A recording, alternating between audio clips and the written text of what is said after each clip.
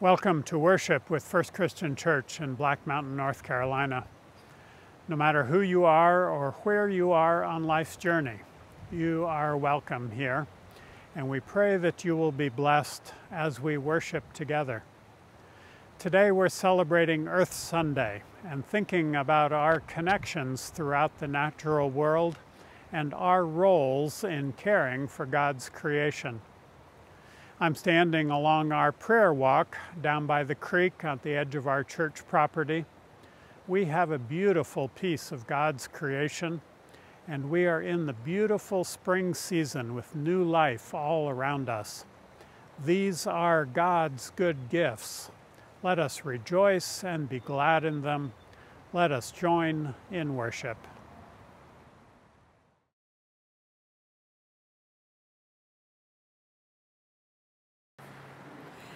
The earth and everything on it, around it, in it, and beyond it belongs to God. In God's goodness, we have been given the pleasure and the responsibility for the earth's care. So let's celebrate creation. Let's celebrate the bees and the trees and the baby bears. Let's celebrate berries and squirrels, mountain peaks and each other. And let's celebrate God together.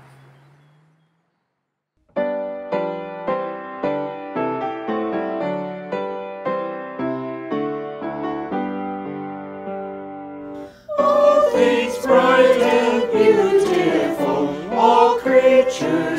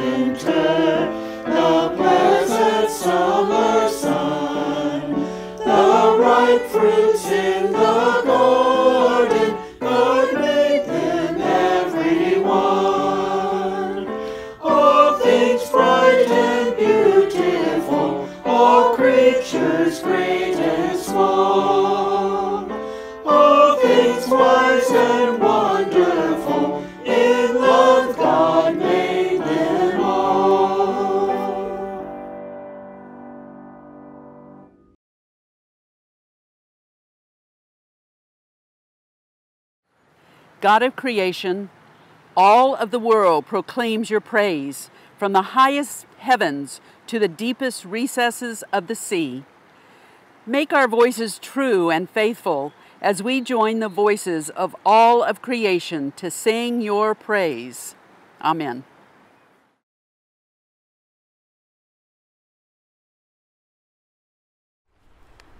God of Zion, to you even silence is praise.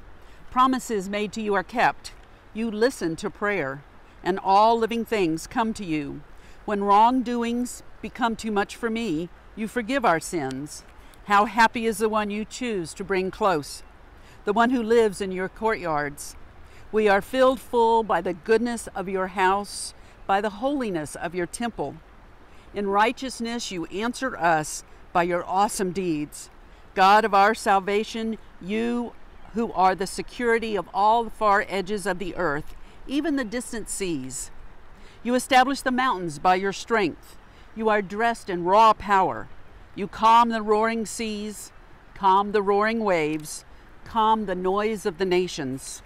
Those who dwell on the far edges stand in awe of your acts. You make the gateways of morning and evening sing for joy. You visit the earth and make it abundant, enriching it greatly by God's stream full of water. You provide people with grain because that is what you've decided. Drenching the earth's furrows, leveling its ridges, you soften it with rain showers, you bless its growth. You crown the year with your goodness, your paths overflow with rich food. Even the desert pastures drip with it, and the hills are dressed with pure joy. The meadowlands are covered with flocks, the valleys decked out in grain. They shout for joy, they break out in song.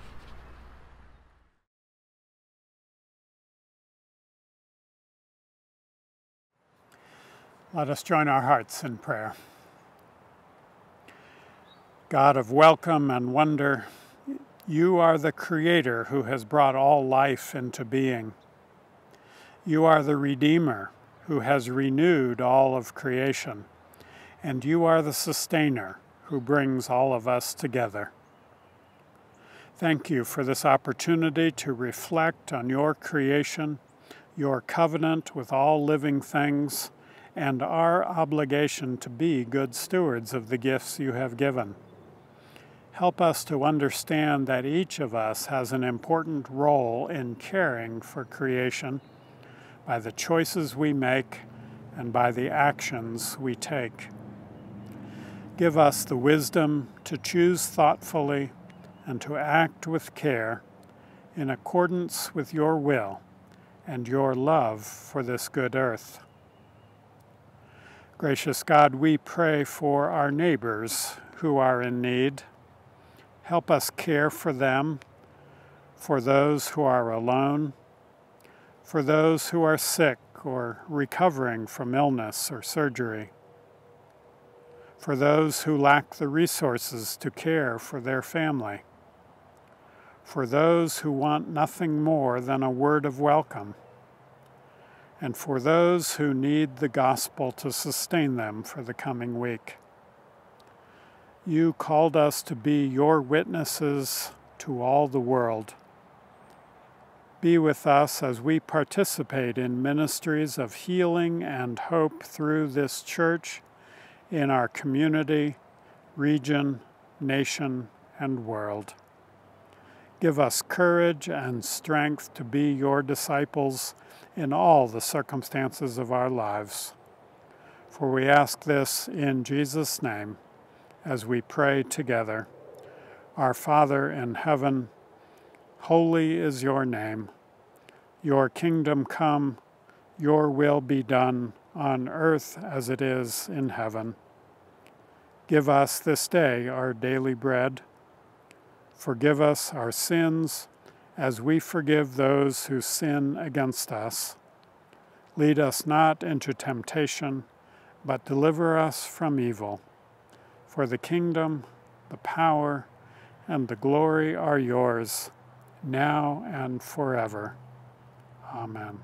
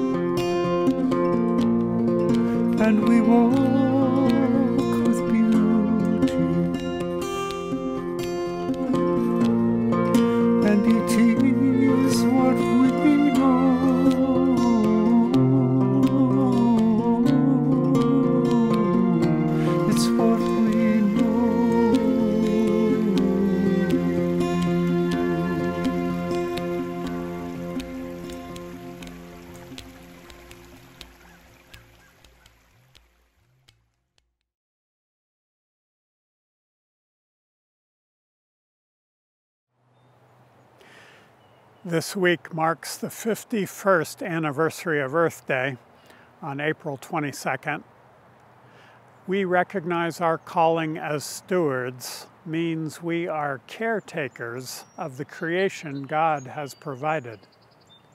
From Genesis right through the rest of the Bible and on to today, people of faith recognize God's good gifts include Earth's land, air, and water on which our lives depend. In this Easter season, we continue to rejoice in the new life of the resurrected Jesus. Today, we pray for our own lives to be raised up and inspired to the point that we might become witnesses to God's love made known in Jesus. As we receive our morning offering, which allows our congregation to thrive, may we also dedicate ourselves to take actions of restoration and resurrection for our earth.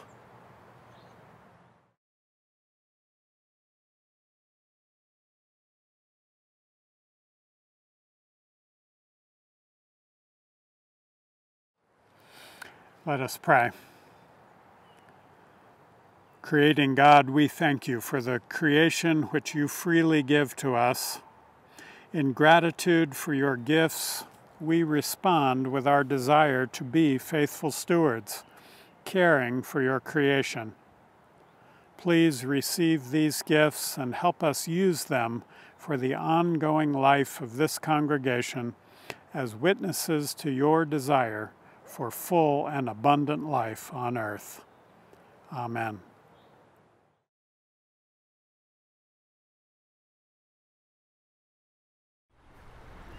We believe that God breathed life into the world and declared that it was all good. From the azaleas beginning to bloom in our prayer garden along Camp Branch Creek and the creek itself, to the bees and monarch butterflies who will stop for refreshment and nourishment in our pollinator garden. We believe that God expects us to both enjoy and oversee this creation, to use it wisely for our benefit and for that of our neighbor, and to ensure that it will continue to reflect God's creativity for generations to come. We believe that through Christ, all things are redeemed and will be made new, our own sinful selves as well as the world around us. We believe that every blade of grass and every drop of rain are miracles that testify to the work of the Holy Spirit. By living responsibly, We express our gratitude for the blessings of nature in which we live, work, play, and worship. Thanks be to God, our Creator, Redeemer, and Sustainer.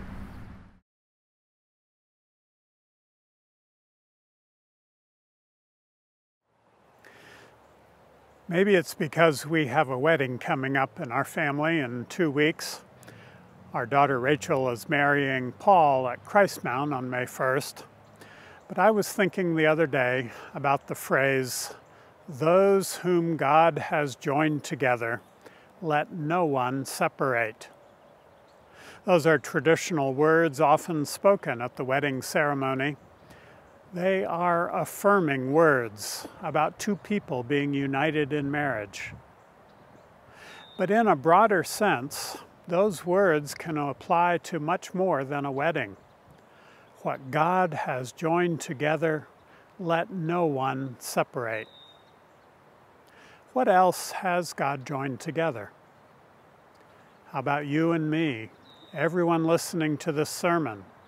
your neighbors next door and down the street and across the river and through the woods. God has joined us all together, and we are bound to one another in the bond of God's love, a love that we are called to nurture and strengthen as we strive to love God with all that we are and all that we have, and love our neighbors as ourselves. We belong to one another and we need each other. What God has joined together, let no one separate. We are human neighbors of one another and we need to stick together. But we can broaden the concept even further. Have you ever thought of the earth and the natural world as your neighbor? And in the same spirit that we are called to love our neighbor as we love ourselves, do we appreciate the earth as something we are bound to? On this Earth Sunday, let's think about this. We are neighbors with the whole of creation. We are united in love with the expanse of God's handiwork the rivers and lakes and streams, the plants and flowers and trees, the birds and insects and animals, the soil and grass and rocks at our feet, the air around us and the air in our lungs, God has joined us all together. We're neighbors and we belong to each other. That puts a whole new spin on those whom God has joined together, let no one separate. Our faith tells us that we are connected with each other, with God, and with God's creation. And this sacred connection starts to happen when we realize that the earth, our home planet, and all its inhabitants is our most vital neighbor. It's a sacred relationship that we all share, and it's a relationship from which no one is to be permitted to separate. And our place in this sacred relationship is to be good stewards of the earth. It is our spiritual mandate. We who are made in the image of God at the beginning of all things are given the mandate to care for the earth and everyone and everything in it.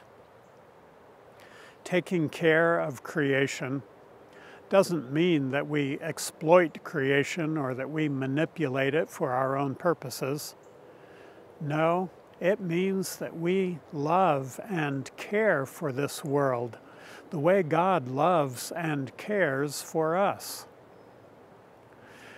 Rabbi Melanie Aron sums up the creation story in Genesis 1 when she says, God said to Adam, This is the last world I shall make. Hold it in your hands. I place it in trust. Psalm 65, which we read this morning, offers a song of praise for our amazing world, a world that provides us with everything we need. We are 60, 93 million miles from the sun, which is exactly the right distance to give us the solar energy and light that provides for all living things. We have air with just the right amount of oxygen for all plants and animals. We have a water cycle that moves water from the sky to soil to rivers and back to the sky. We have an incredible biodiversity of life, from bacteria to blue whales. And we human beings, God's assigned caretakers, we have reason and skill to protect and preserve this amazing world. And yet, we are not preserving and protecting this world at least not in the way that we should. And thus we are not fulfilling our role in God's eternal purpose. At the beginning of this service, Sandra called us to worship with a paraphrase of the first line of Psalm 24 The earth is the Lord's and all that is in it this affirmation expresses the theological understanding of our life on this planet. Everything is God's first, and we, all humans, animals, plants, natural resources, are part of the all that's in it. That's our connection and our mandate. In the 12th chapter of Luke's Gospel, Jesus tells a simple parable about a rich man who is a very successful farmer and is bringing in large harvests. The man decided to build bigger barns to store everything he's producing and says to himself, I have stored up plenty of goods, enough for several years. I'm going to take it easy now, eat, drink, and enjoy life. But then, Jesus says, God says to him, You fool, tonight you will die. Now, who will get everything you've accumulated? What good will all that do you? And then Jesus goes on to give a lesson not about farmers and barns, but about nature. Therefore, Jesus says, I say to you, don't worry about your life, what you will eat or what you will wear. There is more to life than food, and more to the body than clothing. Consider the ravens. They neither plant nor harvest, they have no silo or barn, yet God feeds them. Notice how the lilies grow. They don't wear themselves out with work, they don't spin cloth. But I say to you that even Solomon in all his splendor wasn't dressed like one of these. Jesus shows two views of life. In one, the person accumulates for himself. In the other, Jesus describes life in an interconnected world where there is enough for everyone. Your life, Jesus is saying, is part of God's great economy in which all of life is held in God's love, and there is enough for everyone. There are enough resources, enough food for everyone, but only if we take our place in God's economy and not just our own. Everything is connected. Everything, including you and me, is made of elements and molecules that were unleashed in the Big Bang. You might say that we are all made of the same stardust. And that makes us cousins and neighbors. to a farmer in South Sudan trying to grow a few crops in the midst of a drought. It also makes us cousins to a polar bear struggling to stay alive in the Arctic. Science and faith tell us of our commonalities and our connections. By contrast, our politics, economics, and yes, sometimes even our religion teaches us to ask, what's in this for me? What will make me happy?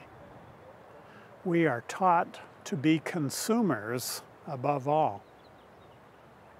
So, what do we do? How do we look out for all that God has joined together?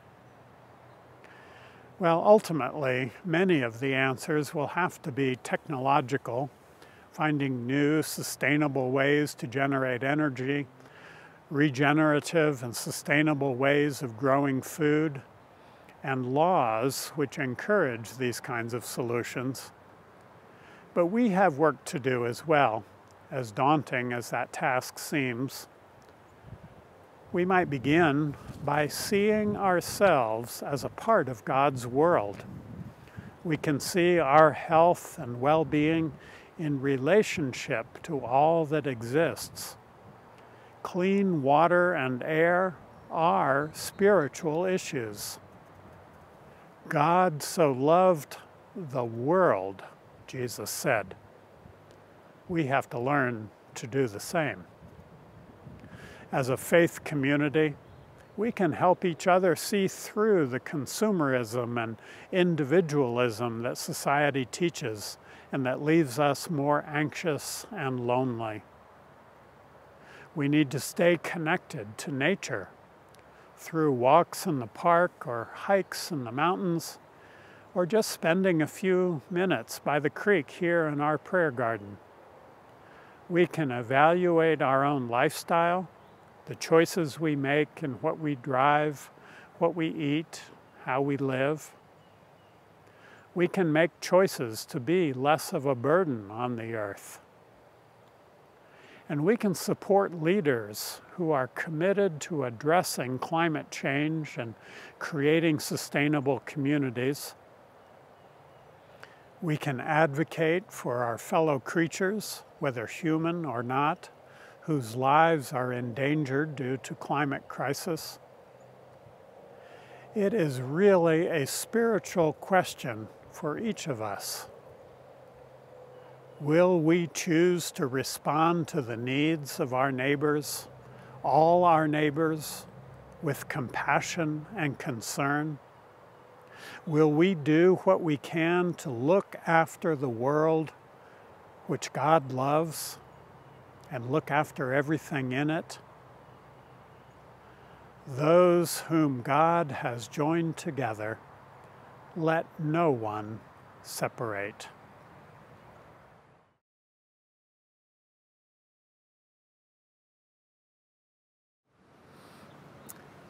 That night in the upper room, the night that Jesus would be betrayed by one of his friends, was also the setting and occasion for Jesus to teach his disciples about their connection and relationship with each other.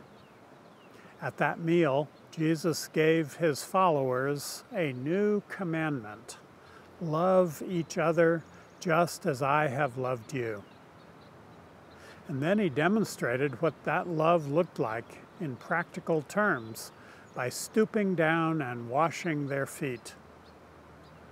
The meal became a tangible reminder of their connection to Jesus and to one another and all that Jesus had taught them.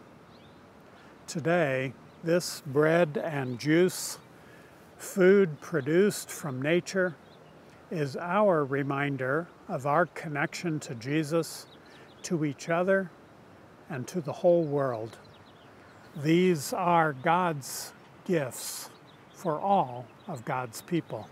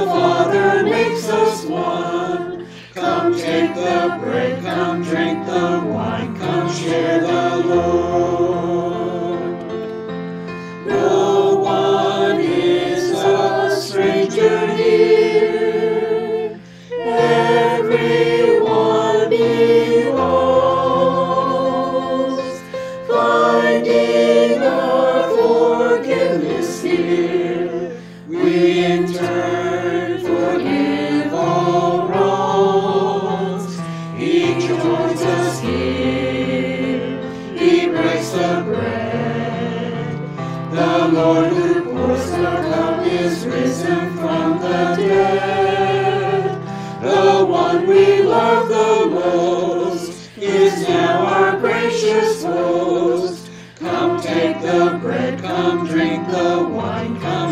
that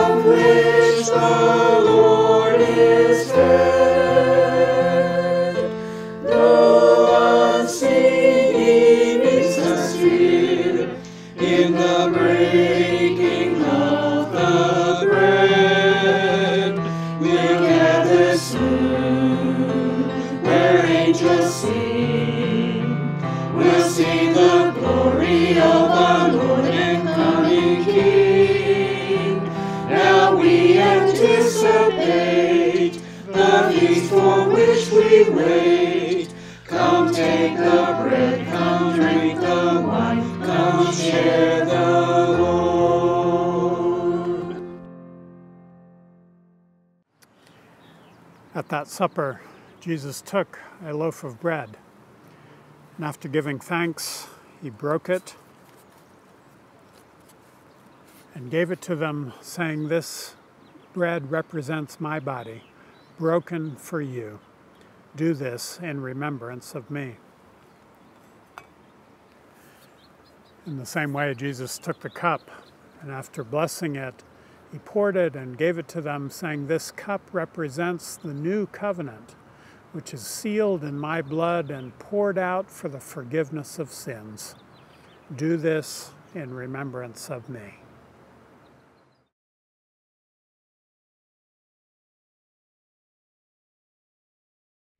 Generously giving God without waiting for us to ask or demanding our thanks in return you have provided for our physical well being in abundance.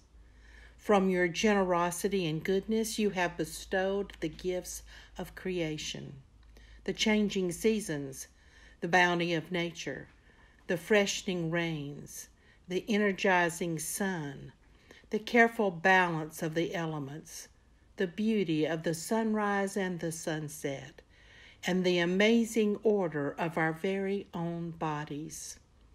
Not only do we take such gifts for granted, too often we've been guilty of neglecting and abusing them, denying the stewardship we were created by you to exercise. So, here at this table, where we are stewards of the mysteries of your gifts of redemption, we come seeking both forgiveness and restoration. In blessing this bread and wine, we seek the healing of everything our sin has broken. Heal the divisions in our relationships with you, in our relationship with others, in our relationships with each other and in our relationship with all of creation. Send your Holy Spirit and so renew the face of the earth together with us. We pray. Amen.